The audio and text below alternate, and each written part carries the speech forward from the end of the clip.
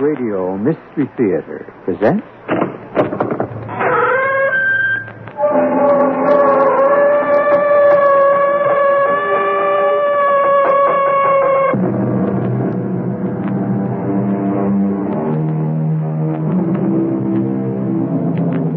Come in. Welcome. I'm E.G. Marshall. The moving finger writes, and having writ, moves on. Nor all your piety nor wit shall lure it back again to cancel half a line. Nor all your tears wash out a word of it. Or put it this way you can never erase nor rewrite what has been inscribed in the book of your life. Or can you? What are you doing here, Walter? I had to see you, Rita. I had to see you. Don't you know it's dangerous? Well, Rita, after all, we killed him. Oh, you've got that all wrong. You killed him. No. No, we both planned it. We both did it. Your fingerprints are on the gun. Rita, you were there. It was your idea. What was my idea? Walter, I don't know what you're talking about.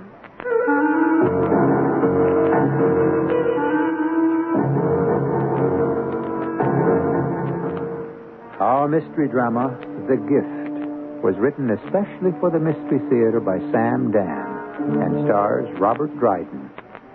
It is sponsored in part by Buick Motor Division and True Value Hardware Stores. I'll be back shortly with Act One.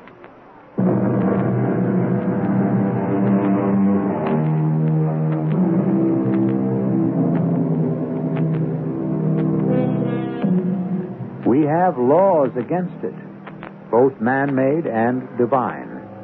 Practically all civilized and most uncivilized societies as well prohibit it. So then, how do you account for the fact that murder has flourished since the dim red dawn of history? Murder by individuals, murder by groups, murder at wholesale, murder at retail, but murder everywhere, and enough to spare. We're in a pretty little cafe lounge. A man and a woman are at a table holding hands. They seem to be very much in love. And yet, as we listen, the very first word we hear is murder. Now, what brings this on? We plan to do it, don't we? Of course, darling. But we don't have to talk about it. What do you mean we don't have to talk about it? Well, what I mean is, we don't have to talk about it anymore. Rita? Everything we have to say has already been discussed. It only remains to be done. Yeah. Well, maybe. Maybe. Walter, are you beginning to have second thoughts? I. I don't know. Well, for your information, you were the first to mention it six months ago. Didn't you say, if only Dennis weren't around? Well, yes, but that didn't mean. What did it mean? You have a way of. I have a way of cutting through the nonsense, of cracking the shell to get at the meat. Well, do you want to call it off? Do you? Walter, the time has come for you to take a stand and to stay there. Suppose we get caught. We're going through all that again. Oh, it's something to think about. It was something to think about. It was one of a great many problems and dangers, but we considered each one of them, arrived at a decision, and put them all behind us. Yes. Well, there's no guarantee we'll get away with it. Does it have to be done today? Will it be easier tomorrow? Oh, I guess you're right. No. We're right. This is being done by the two of us. Yes. It's five o'clock. Time to go. I, I don't see the waitress around. We'll have to wait. Just leave a ten dollar bill on the table. That'll more than cover it. Uh, Re- Re- Rita. I'm leaving now, Walter. With you or without you.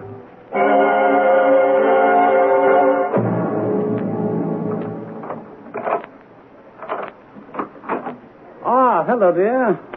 And Walter. Dennis, darling? Just in time for cocktails. Oh, I know how negative you feel about classical music, Walt. Well, I, I don't You've exactly. got a tin ear, that's your problem. well, turn the thing off, Reed Angel, whilst I pour us each a little libation here. No, no, no, da- darling, you, you turn it the other way. That's louder. Oh, now, Rita, uh, really, it's enough to blast your eardrums. Now. Now. Walter, now what? Walter! Hey, what? What'd you get? What are you going to do with the gun? Oh, no. Wa- Walter, don't.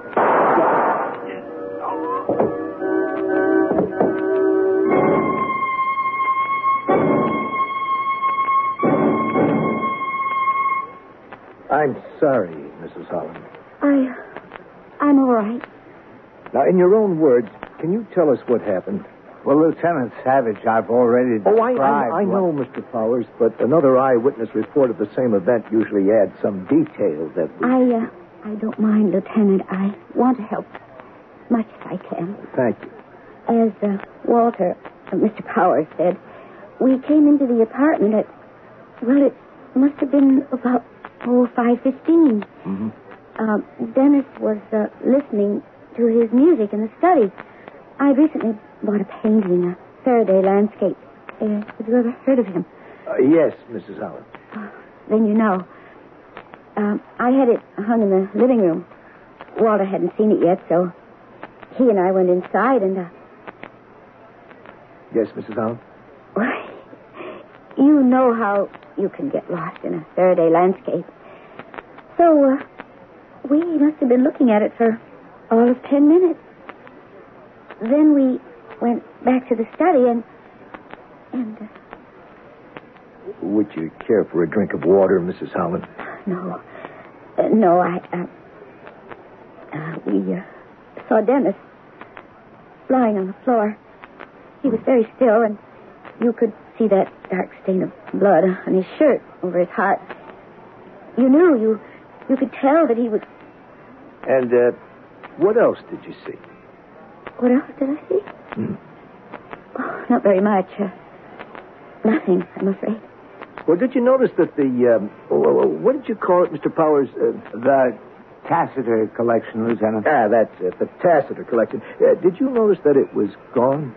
I'm afraid the only thing I really saw was my husband lying dead. I tried to close my eyes against it, Lieutenant.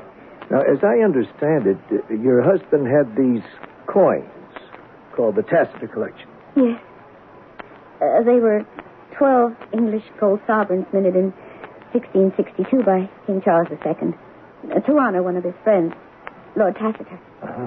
And what was this collection worth? Oh, it had been insured for a $100,000. And your husband wanted to sell it. Yes. Why?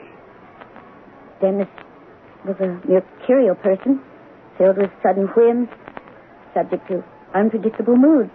He was always buying and selling, changing his mind. It was all part of his charm. And where was the collection usually kept? In a vault, Then how was it he had these valuable coins in the house? the word was out. No, among collectors and in the trade. People were coming to look. Hmm, well, isn't it usual to sell these things at auction? To turn them over to a dealer? Oh, Dennis did things his own way. He wanted to be sure that the buyer would be someone who could appreciate the meaning of the collection. Then uh, Dennis was home all day. Oh, yes. He was expecting buyers. At about, uh, oh, three, I, I went out for a walk and I, I, I ran into Mr. Powers here. Hmm. Uh, we stopped for a drink and then decided to go home, pick up Dennis for dinner, the theater. You came home. Now, uh, you remember seeing the collection on his desk? Yes, I, oh, I'm sure I did. It, it would have to be there because if he'd already sold it, he'd have said so. Now, you went into the other room to look at the painting, Mhm. and uh, you were there for ten minutes. Now, during these ten minutes, someone came in. How would that person enter? The only way is through the front door. Hmm. Well, he'd have to ring a bell. The door locks automatically, and there's no sign of forced entry. You didn't hear a bell? No. Well, you see, he had his music going. It, it was very loud. Uh-huh. And this same someone then shoots your husband. You didn't hear a shot? No. And you didn't either, Mr. Powers? No. As she said, the music was going full blast in the next room. Hmm. Well, thank you, Mrs. Holland. Is that all? Yes, that's all. Uh, Lieutenant Savage. Hmm. Dennis Holland was my closest friend. He was also a fine human being. His murderer must not go unpunished. We'll do what we can. Uh, Tom, Eddie, got your pictures? You ready? All right, let's leave. Oh, goodbye, Mrs. Holland, Mr. Powers. Oh, don't, don't, don't bother. We can let ourselves out.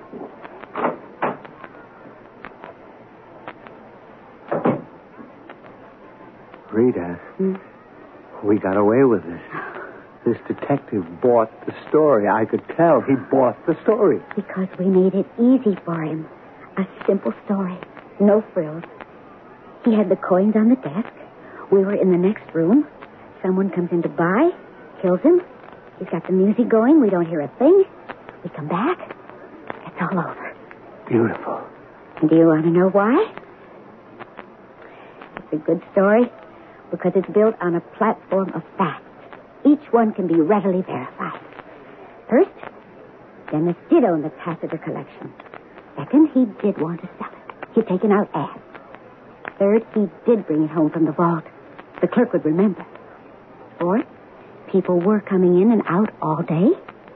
Fifth, I said we went into the living room to look at a new Faraday painting. Oh, there is a new Faraday painting. Sixth, we said we couldn't hear anything because the music was so loud. Oh, the neighbors will be glad to tell the police how constantly they complained about that loud music. Uh, wait a minute. What? Wait. Good Lord. Wh- What is it? Should we be talking like this? Like what? Should we be saying what we're saying? It just occurs to me.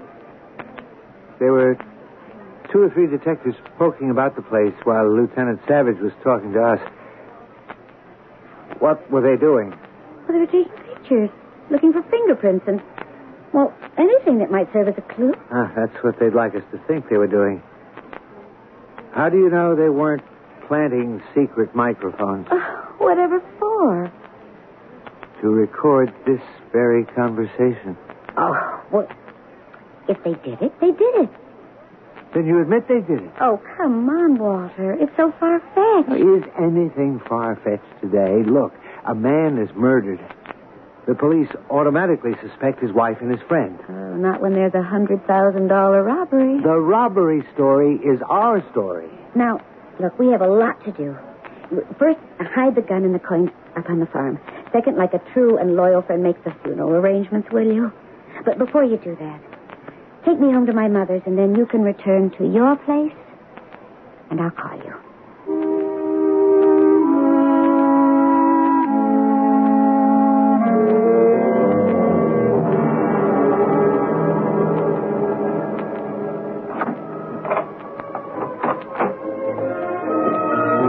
What? What's this music? Where's this music coming from? From a record player. A record player, but I don't have a record player. I bought you one. You bought. De- Dennis. Yes. Dennis. But you're dead. You. You have to be dead, Dennis. You're dead, and yet you're. You're standing here. That's a pretty good declarative sentence, isn't it? You're dead, and you're standing here. It consists of two independent clauses. And you would think that one negates the other. Well, grammar is grammar, and murder is murder. But surely in this case, something has to give. Give me a few minutes of breathing space, and I shall return shortly with Act Two.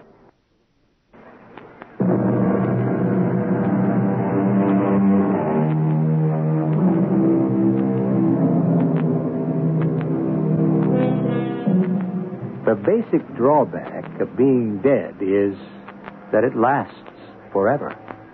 This bit of wisdom was uttered by an anonymous character in a forgotten novel by a completely undistinguished writer named T. Presley McClellan. However, it does seem to have captured what was always considered a fundamental human truth. Are we about to discover a new vision? At 5:15 p.m., Mr. Walter Powers shoots and kills his best friend, Mr. Dennis Holland. At 9 p.m. that same evening, Mr. Walter Powers returns to his apartment, and who is sitting there listening to a Beethoven symphony? Why, Mr. Dennis Holland. Dennis, you. I'm here. Start with that. You're dead. Well, who knows that better than you, Walter? You killed me. But, but you're here. Obviously. But you can't be here. If I killed you, uh, Unless you're imagining it. Yes. Yes, that's it. It's all in my imagination. If it's your imagination, how do you account for the music? I can't account for it. Turn the damn thing off. If you say so, Walter. But still, you must account for it. You know you don't own a record player. Did you subconsciously go out and buy one? Why would I buy one? Because you're now in the hands of your conscience. Remorse. What I did, I would do again. It's just that I have to expect a few bad moments. I think I see you. But you do see me. I'm here. The record player proves it. If I'm just a creature of your guilty imagination, then how do you account for the player? And maybe you needed it to help the illusion, eh? But the fact is, it's here. How did it get here? Well, I must have gone out and bought it myself. When? You spent the afternoon with Rita. You killed me at exactly 14 minutes after 5. You were at the apartment with the police and one thing or another till 8. Then you had to take Rita to her mother's, and here you are at 9 o'clock. With every minute accounted for. Yeah, but still, I no, no, don't... no, no, Walter. The record player is here because I brought it. And I brought it as a gift. A gift? I owe you a present For what? for killing me. What are you saying? If you hadn't done it, I'd have had to do it myself. And I just wouldn't be able to summon the courage. Let me begin by thanking you. Yeah, I don't understand. I was very sick, Walter. The doctor said I'd be lucky to live a year. Oh, I didn't know. Well, I just found out. Lucky to have a year. And then he said in a few weeks there might be some very intense pain. Then you would have... Died, yes. I would have died anyway. But in terrible agony. That's one reason I thank you. One reason? Well, the other is I, uh, I'm broke. You were broke? Busted, cleaned out, washed up. Why do you think I was selling the Tacitus collection? I don't know. I thought you were bored with it. Oh, never. It had to go to meet my debts. In about four or five months, the truth about my financial juggling would come out. I'd be disgraced. And there I'd be, deathly ill, stone broke, and under indictment. You saved me from that, Walter. I thank you. That's what I came back to tell you. But the, the, the, the dead cannot come back. You know, I used to think that myself. But the dead do come back all the time. It's just that so many of the living are too blind, too insensitive to see them, to feel them, to hear them. I hear you. I see you so clearly. But it has to be my imagination. I'll turn this on. Listen. That's not your imagination. I want you to develop a taste for it, Walter. You'll thank me. What's going to happen? I'll go back where I belong. Where you belong? I don't belong here. I just have some unfinished business, that's all. Unfinished business? I have to take care of you. Me? You're my best friend. Look at what you did for me. But I murdered you. I murdered you in cold blood. You had that look in your eyes just before I pulled the trigger. Do you think I'll ever forget that look? Oh, you were always so melodramatic, Walter. As I fired, there was a brilliant flash. Oh, you're telling me. I thought I'd go blind. For a second, your eyes became very bright, and then they started to become darker and darker as the light in them flickered and slowly faded. Then all the light went out of them. I was dead, yes. That's exactly what it feels like. All the light goes out of you, and you're lost in a dark void. I'm sorry, Dennis. Oh, you're not to blame. She put you up to it. I know she did. She knows how to drive a man wild. Well, she'll grow tired of you. And after a while, you'll sense it in her eyes. her restless eyes. Already she's planning for your successor. Now, w- wait a minute, Dennis. Unconsciously. After all, she hasn't even met him yet. But she will. One day. And then she'll be prepared. What are you driving at? What did you do with the gun and the coins? I hid them Why didn't you destroy them? because she said to hide them Hide them? Hide them where? Up at the farm. What for? So she can have that gun handy in case she'll need it? Why would she need it? Well, she needed a gun for me, didn't she? Are you are you Oh, saying she may not use it to shoot you. She'll bring that gun to the police. the police? Do you know what she'll say? Come on, Dennis. What can she say? She's in it up to her neck. Which is why she wants to get out. But what can she say? She is such a resourceful, inventive, creative woman. Can't you imagine what she could say? Think, Walter. Think.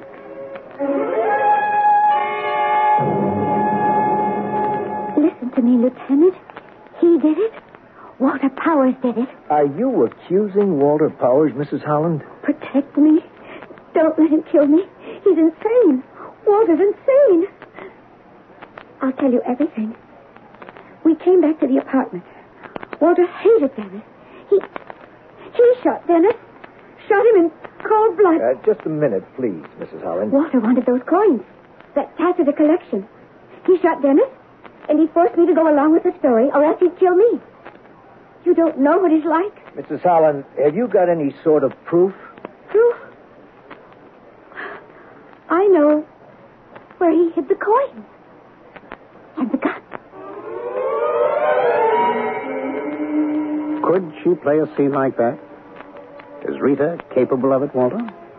But she loves me. Oh, she also loved me. It comes and goes with her. Why cling to a dying tree? Why treasure what can no longer blossom? Those words. Those words. How would I know those words? Oh, foolish Walter. Didn't she also speak them to me one day? She whispered them on a sailboat. We were running before a freshening breeze. Her long, honey-colored hair was flying straight back in the wind. A wind that also held her shirt taut against that beautiful curving line of her body. She can make you believe anything in a moment like that. Tell me, where and when did she whisper those words to you? That can't be real. You can't be real. Listen to the music again, Walter. Only I could have brought it here. It proves this is real. It proves I'm here to help you. Here to save you. Save me from what? From her? Is that it? Yes. Because she'll want to get rid of me one day? Right? No, there's something you forget. Sure, there was another guy before you, and she ditched him for you, and she got rid of you for me. And you say my turn's coming up. Exactly. Well, maybe it isn't. Maybe there's something you can't face up to. Maybe you and how many other guys before you simply weren't man enough for her. Ah, ha, ha, ha. Mr. Macho. All right, let's assume that's true. Then your whole theory flies out the window. Only to walk in again through the door. That little scene in the police station. What little scene? You mean that imaginary little episode? It will have to take place, you know. Why? Because you say so? Because logic demands it. What logic? The logic of reality. A man is shot to death. In the house at the time are his wife and his best friend. Now, what the investigating detective asks himself at the very beginning is are these two having an affair? I would say he's convinced they are. Why? Because he's trained. His experience teaches him to look for those things. But how can he tell? People in love give themselves away in any one of an infinite number of little things, Walter. A glance, a gesture, a smile, a frown, who knows? And so we begin with your Lieutenant Savage. You think he's a dull, plodding policeman? Don't sell him short. Lieutenant Savage, what do you think he's doing right now? Well, how would I know? You can picture it. He's in his office, at his desk. Uh, Lieutenant Savage. Oh, yes, Inspector. I'm doing the report right now. Well, Dennis Holland had these coins worth about a hundred thousand. A crook could have come in, killed them, and grabbed them. So we have to run a net among dealers, collectors, and so forth. On the other hand, we got the wife and the best friend. Now they're in the next room, while a 38 caliber revolver goes off, and they claim they didn't hear a thing. Well, that's what they say. Uh, I, I think I get a little bit of a click there. Well, I want to give it a play. Yeah, I'll get right on it. And he's on it this very minute. What'll he discover, Walter? What'll he discover? Nothing. Are you trying to tell me there was nothing? We were very discreet. Discreet? Nobody knows about us. Nobody? Let's check that out. We are now in the area of routine, basic police routine. The police are experts when it comes to routine. And if it's a crime that can be solved by the use of routine, the police crack it every time. I, I, I don't know what you're talking Or about. you wish you didn't know what I was talking about. Tomorrow morning, Lieutenant Savage is going to ring Rita's doorbell. And do you know what he's going to ask her? How could I know? Well, it's a question he couldn't ask her this afternoon. She was too upset. But it's a question both you and she can very well expect. What, uh, what is the question? Well, you should know. It's the question that marks the beginning of the routine.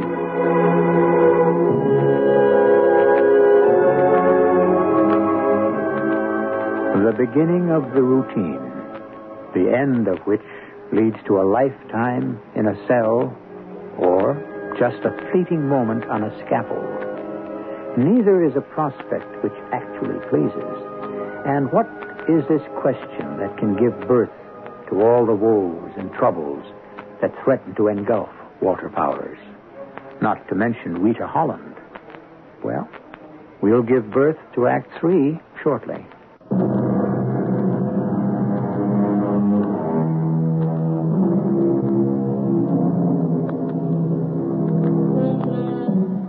Whoever it was that said, We are a world of strangers, we see each other dimly as flickering shadows in a darkened room, may have had something.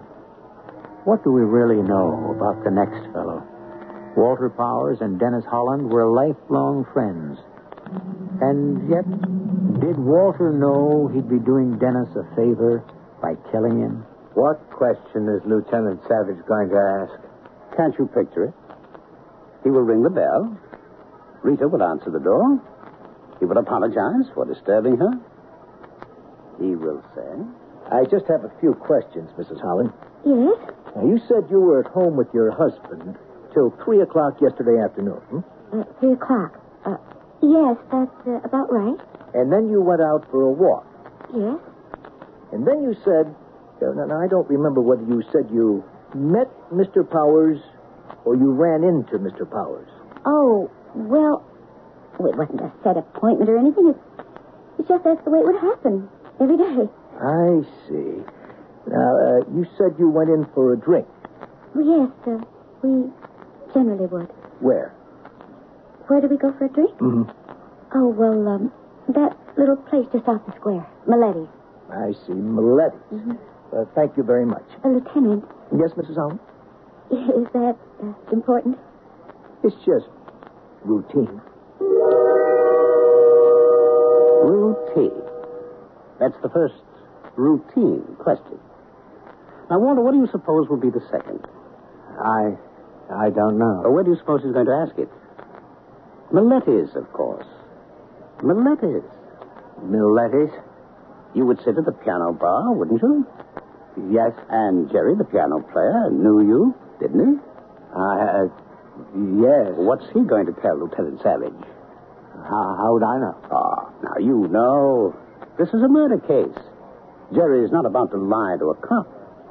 Jerry's going to tell Lieutenant Savage exactly what he saw. And you know what he saw. Well, Lieutenant, I mean, they'd uh, come in most every afternoon for a happy hour, you know? Uh, what would they do? What would they do? Hmm? Well, they'd have a couple of drinks and listen to me play the piano. I mean, what were they supposed to do, huh? Did they hold hands? Well, did you ever see them hold hands? Now, that's a direct question. Uh, yeah. How often? Every time they were here alone?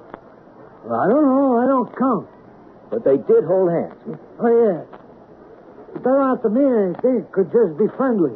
Did he ever put his arm around her? Yeah, he might have. Once or twice. Uh huh. They ever kiss? Maybe. Once or twice.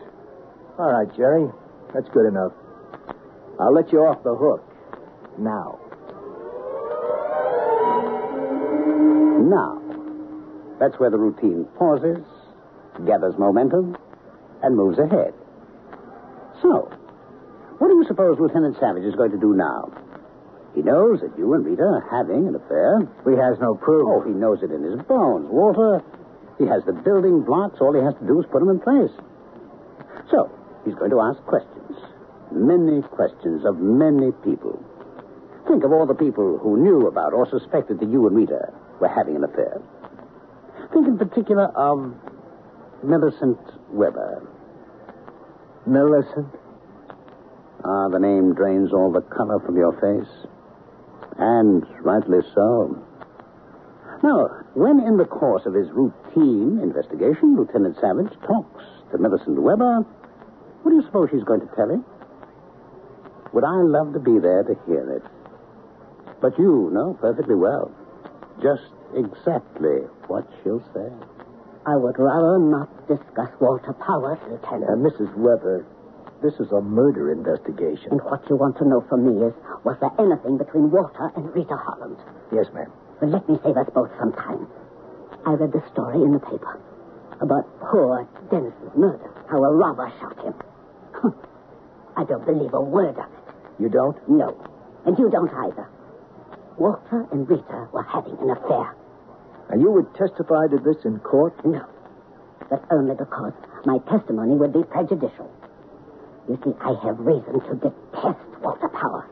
May I ask the reason? He was engaged to my youngest sister.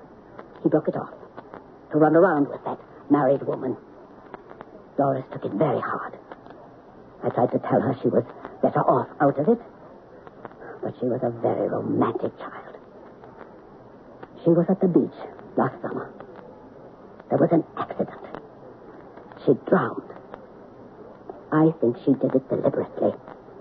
That's all I can tell you. Do you know of any way we could prove Rita Holland and Walter Powers were having an affair? No. Now, wait. Of course I do. The Riverview Motel. I wanted to expose him. So I him shadowed. The detective reported that Walter and Rita had spent several nights there. I presented the evidence to Doris. Yes? It, uh, that was the end of things between them.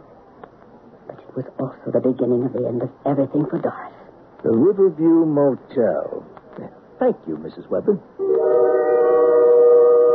Riverview Motel, Walter. That's what Millicent will tell him. And how many desk clerks, chambermaids, and cocktail waitresses will remember the two of you together there? What are you trying to convince me of? Well, that you are getting closer and closer to that little scene in the police station where she sells you down the river. Ah, you, you don't know how much she really loves me. She would never do that. Well, she may have no choice, Walter. The routine. It's become a juggernaut. It threatens to ride right over her. Now, Lieutenant Savage is going to go back to her. Now, Lieutenant Savage is armed. He's ready. And you can just picture what he's going to say to her. You're, you're crazy. You mean you can't picture it, Walter? You mean he isn't going to ask her? Mrs. Holland, are you having an affair with Walter Powers? Am I. What? Shall I repeat the question? How dare you? You have no right to ask such an insulting, slanderous question. Mrs. Holland, if I were to go to the Riverview Motel, Riverview Motel. would I find witnesses among the personnel who could testify that you and Mr. Powers engaged a room there quite often? Would I? Lieutenant, listen to me. He did it. Walter Powers. He did it. So you see, Walter, the scene. We are ready for the scene. You don't believe it. I, I, I don't believe any of this. I, I can't. I'm going crazy. I have this hallucination that you're here, that a dead man is talking to me, that a man I killed is here in this room talking to me. Ah, if only it were an hallucination. All of this is unreal. All of this is fear and phantom. All Rita and I must do is not lose our heads. She has to send you down the river, Walter. No, no, no. You're, you're not real. All I have to do is shut you out of my mind. I'm real, Walter. It's a reality you can't understand. Yes. In this room, however, there is a reality that you can understand. It takes up room. You can stub your toe against it. You can touch it. Turn the switch on, you can hear it. The record player, Walter. I brought you the record player. You left the house at three this afternoon. It wasn't here, was it? No. Well, I keep telling you, I brought it as a gift so that you would believe me. but It's the finest you can buy, Walter, exactly like the one I have, or I had in my house. You see? Look at it. Listen to it. Only I could have brought it, yes? Y- yes. Place yourself in my hands. I'm the only one who can help you, really. She mustn't play that scene in the police station. She's capable of it, isn't she? Isn't she? Yes. One way or another, one day or another, you have to be killed. Just as I had to be killed. Kill her first. Well, no. You have to. But that'll surely. I, I, I mean, the police. I'll be arrested for murder. No, you won't. What do you mean, I won't? Walter, I'm dead. Which means I see things. Kill her. You won't be caught. Right now, she's asleep, all alone, at her mother's house. Go there quietly. Kill her quietly. No one will know. Kill her. You'll get away with it. Trust me. Believe me. Be- believe you? Isn't this music proof that you can believe me? Yes. Yes.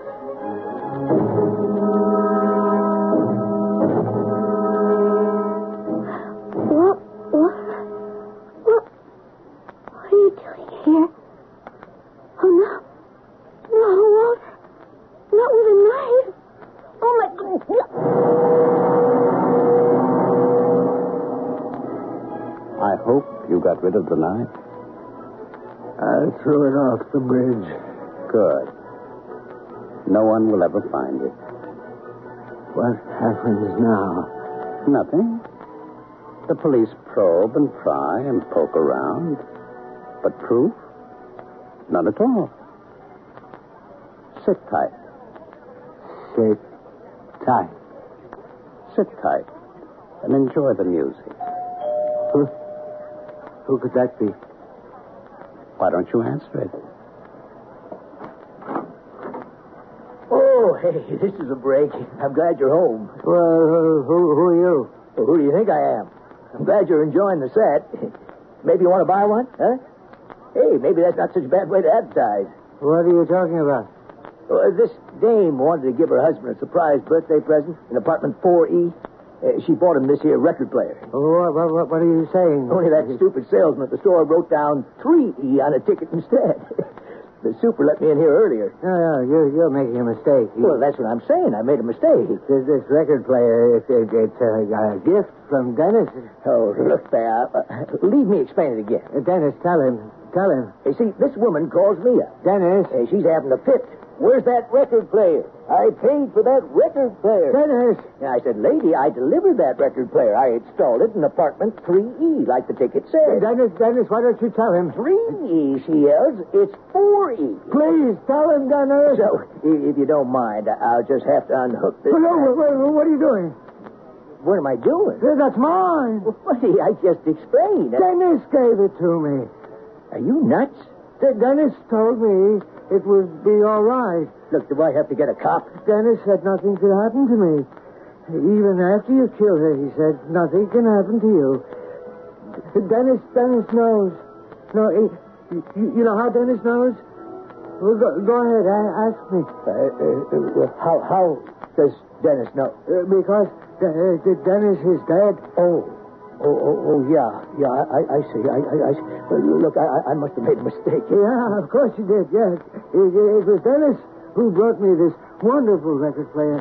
I, Oh, sure, sure, of course he did, pal. Yeah, yeah, sure. Uh, why, um, well, why don't you just, uh, excuse me. Excuse me.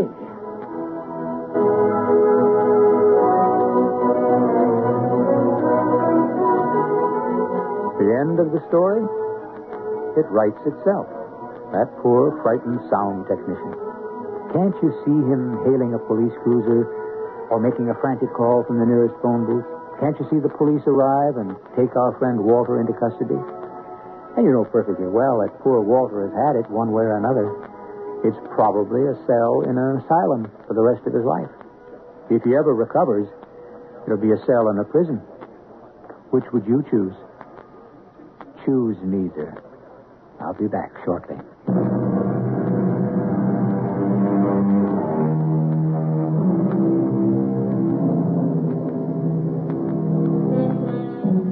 Can the dead, do the dead ever come back? Of course they do. All the time. They come back in what we do, in what we say, and even in what we are. They are gone from our sight. Their voices are still. And we see them and hear them so clearly sometimes. Who was it that said, to be remembered is to live forever? Our cast included Ralph Bell, Robert Dryden, Evie Juster, and Sam Gray. The entire production was under the direction of Himan Brown. And now, a preview of our next tale. Prima donna Imperial Opera of Warsaw, contralto, retired from the stage, living now in London.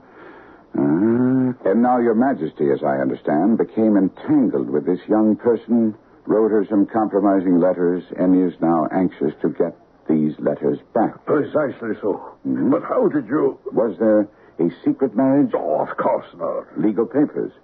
Certificates? None. Well, then I fail to follow, Your Majesty. If this person should produce her letters for blackmail or other purposes, how is she to prove their authenticity? There is the writing, Proof. Forgery. my private notepaper, Stolen. my own seal, Imitated. my photograph. Bought. We were both in the picture. Oh, dear. That is very bad. Your Majesty has indeed committed an indiscretion. Radio Mystery Theater was sponsored in part by Ex-Lax. This is E.G. Marshall inviting you to return to our Mystery Theater for another adventure in the macabre. Until next time, pleasant dreams.